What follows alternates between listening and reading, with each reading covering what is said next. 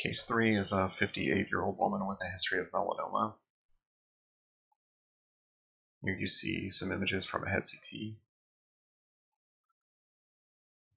Gonna have some more images here. What you start to see is a little bit of hypointensity in the posterior uh, lobes here. Now you get up a little higher and you have some areas of hyperintensity kind of centrally located within that low density, so some hemorrhage with some surrounding edema. Here you see it a little bit more. It's kind of peripherally located. You get a little higher, you have again some low density. So now a question I'll ask you and ask you to consider in your mind is which side is abnormal here? So we know that the right uh, side is abnormal. We have a hemorrhage with surrounding edema there. But uh, I'll ask you to take a quick look at this left side, see if you think it's abnormal. So here I've given you some images from the MR that kind of gives it away, right? Uh, so you've got some areas of susceptibility effect in the area of the hemorrhage. So that's the hemorrhage you were seeing on CT. Now you have surrounding edema. If you look, you've got some edema on the other side, and you've got this patchy kind of subcortical edema all over the place. Uh, so there's multiple areas of subcortical edema probably a little bit of trace subdural hematoma as well, which might be extension from that parenchymal hemorrhage.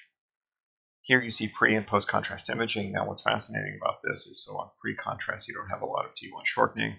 This image is uh, from a kind of the same level and you see there's essentially no nodular enhancement there. So what you'd be looking for in a, for a metastasis in this patient that has a history of melanoma, uh, the vast majority of melanoma metastases are going to enhance.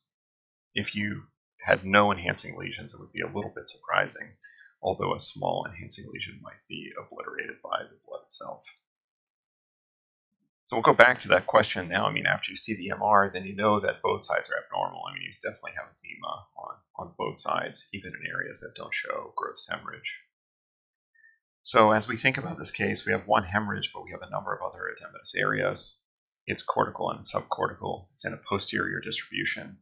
Uh, this person is 58 and they have this history of melanoma, which was making us think about metastatic disease, but uh, the imaging appearance was certainly unusual for metastatic disease. And so I'll give you another look here. So we have the pre and post contrast. There's definitely no enhancement there, which is very uncommon for melanoma metastases. Uh, however, because of the patient's history of melanoma, this patient has gotten various chemotherapy agents. So that's something you have to think about. Um, so this ended up being a case of acute hypertensive encephalopathy or PRES. Uh, this is a disordered uh, autonomic uh, autoregulation. Uh, typically, you'll see it with hypertension, but there's a number of other causes, including medications, many of which are chemotherapy. So if you have a cancer patient or someone who has lymphoma or leukemia, definitely be thinking about that. The imaging appearance that you're going to see is very much like you saw in this case, where you have patchy cortical signal abnormalities, subcortical white matter uh, edema. Um, basal ganglia can be abnormal. Uh, they can have associated reduced diffusion. And it's relatively common to see hemorrhage with these. I mean, if you look at them in the books, they'll say it's relatively rare, but I can tell you we see it uh, considerably more than, uh, than you might think. Now, these changes evolve over time, and although it's called a reversible encephalopathy, uh, they don't necessarily resolve completely. Uh, here you see a four-week follow-up on this patient. Uh, all of you have the hemorrhage centrally here is now T2 hyperintense. It's very bright, but a lot of that edema surrounding it has gone down. Now you see a lot of those surrounding areas of edema have resolved. Uh, so the vast majority of the findings here have resolved.